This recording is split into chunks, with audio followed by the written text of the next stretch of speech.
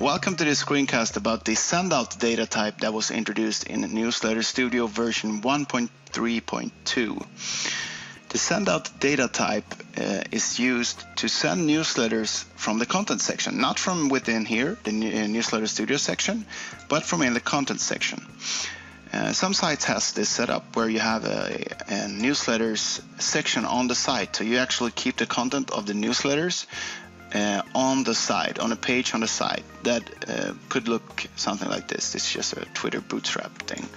Um, so we're actually keeping the newsletters uh, on the site, and we would like to use this content as the source for our newsletters.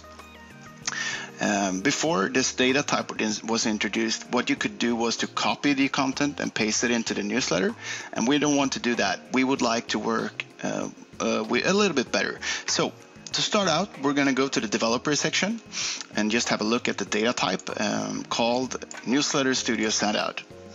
And it's a render control of the type Newsletter Studio Sendout. It's got a very simple setup, a default skin at this moment, uh, the install skin, which is just very simple skin uh, within Newsletter Studio. If you want to know more about skins, you can just read the documentation uh, about that. Um, going over to the content section, we're going to add a new tab on this uh, uh, document type, and we're going to add the newsletter sendout data type. So we know that this is a text page. So going over to the settings, look at the text page, and add a new tab called newsletter. And then a generic property called newsletter as well. And I'll type newsletter studio sendout and then we're gonna put that on the newsletter tab. Save that. So now when we go over here, we do have our tab and we can see that we could actually send this right now. Um, before we do that, we could preview. And then we see that this actually grabs the whole content of uh, of the site of this page.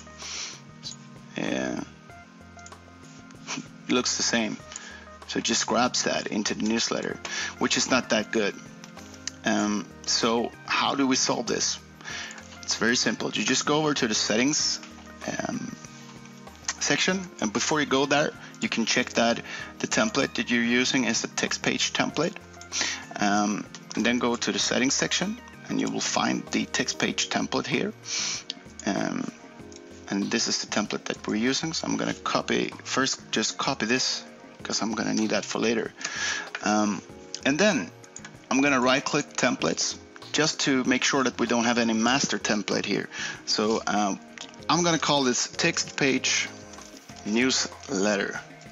And this is the magical part here. It's the, the name of the original uh, template and then just add newsletter afterwards. So if this was your master template, it would be master newsletter. Um, so and then you go ahead and click, click create, and inside here you can add. Uh, I'm gonna copy and paste in my code that I grabbed earlier um, and save this. So now when we go to the content section, Newsletter Studio will use the new template uh, to render the email. So um, the actual web page still looks the same, still has the same content, but when you look at the newsletter, uh, it will remove everything else. And this is quite useful because if you go to the settings section, you can actually use um, the template to do whatever you would like. Uh, you know, you can add a macro in here, you can have inline razor, you can do whatever. So I can actually just to show you add the navigation.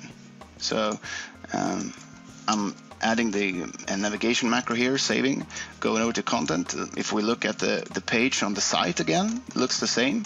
But when we look in the uh, Newsletter Studio preview, we will have the menu here. So this could be used for integrating uh, latest news or whatever you would like to into your newsletters, uh, totally automatic. Um, so I'm gonna remove that macro. Um, and then go back to the content section. And um, what we need to do to actually send this right now is to fill out the subject, hello. Um, we can actually use the name in here. So we'll insert the subscriber's name here. And then uh, my email is um,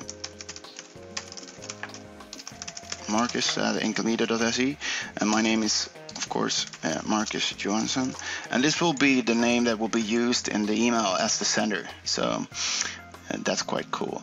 Um, one thing that I would want to show you before uh, sending this is that if I go over here and edit the content of this newsletter,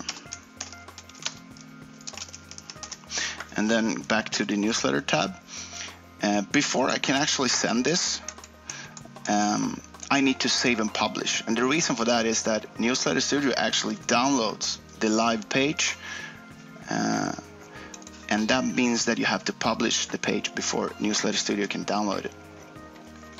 Uh, so uh, now I'm going to choose here. I'm going to send, this to the default uh, and the test mailing list, and it's just a matter of starting the send out. So I'm going to click send now and uh, confirm it